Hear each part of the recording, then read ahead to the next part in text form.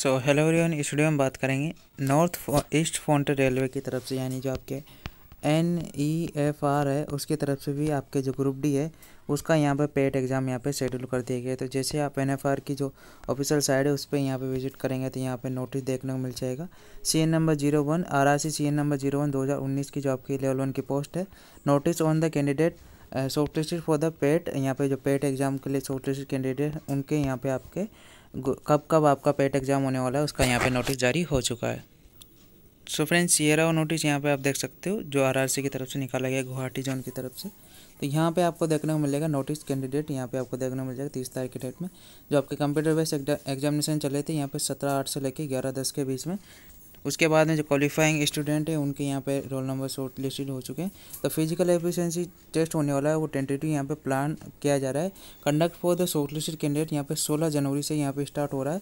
16 जनवरी से आपके स्टार्ट हो रहा है और इसका जो शॉर्ट नोटिस है, वो आपको सात से आठ दिन, दस दिन के पहले आपको ई कॉल लेटर यहाँ पर आपका आ जाएगा। जब भी आपका यहाँ पे होगा तो सात से आठ दिन, यानी वन वीक के अंदर वन वीक पहले आपको यहाँ पे आपको इन्फॉर्म किया जाएगा। यहाँ पर अभी तो टेंटेटिव डेट यहाँ पे सोलह दिसंबर सोलह जनवरी दी गई है। सोलह जनवरी से यहाँ पे आप अपना जो ई कॉल लेटर है, वो यहाँ पे आपको डाउनलोड कर लिया जाएगा, ठीक है? तो यहाँ पे जीमेल और यहाँ पे आपको एसएमएस के थ्रू यहाँ पे भेजा जाएगा। पोस्ट के थ्रू नहीं भेजा जाएगा नो कॉल लेटर और admit card will be send by the post यहाँ पे पोस्ट के थ्रू नहीं भेजा जाएगा। Admit card for the PET will be made available on the RRC जो आपके एन है, उसके ऑप्शन साइट पर आपको सात से आठ दिन दिन पहले मिल जाएगा। बाकी सारी चीज़ें इसमें दी गई है।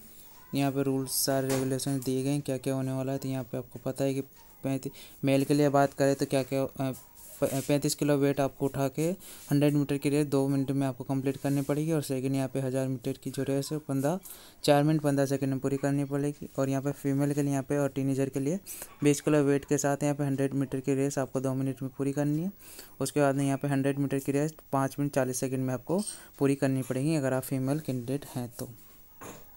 बाकी जो आपके पी डब्ल्यू डी कैंडिडेट और कोर्स कंप्लीट एक्ट अप्रेंटिस यानी C C C C A S वाले हैं, उनको यहाँ पे पेट एग्ज़ाम देने की ज़रूरत नहीं है, उनका डायरेक्ट यहाँ पे डी वी शेड्यूल किया जाएगा डी वी और मेडिकल यहाँ पे आपका शेड्यूल किया जाएगा। जैसे इनका पेट यहाँ पे कंडक्ट करा लेंगे, उसके बाद में यहाँ पे आपके जो अप्रेंटिस वाले हैं, उनका भी यहाँ पे आगे कुछ ना कुछ यहाँ पे नोटिस देखने को मिलेगा। Candidate are advise to also reading the all document, bring the यहाँ पे, जो आपके पैरा नंबर अठारह पॉइंट चार में दिए गए उनको सारे को आपको पढ़ लेना है, जो भी यहाँ पे दिए गए हैं। तो दस फरवरी से पहले आपको यहाँ पे D B tentatively plan force held यानी दस दस फरवरी से पहले आपके यहाँ पे डी बी भी यहाँ पे आपके शेड्यूल कर दी जाएगी, ठीक है? तो यहाँ पे अच्छी खबर है, यहाँ पे आपको देखने को कि डीवी विल बी हेल्ड एक मतलब एक रेसो एक में यानी जितनी वैकेंसी है, उतनी अनुपात में यहाँ पे बुलाया जाएगा, जितनी वैकेंसीज है।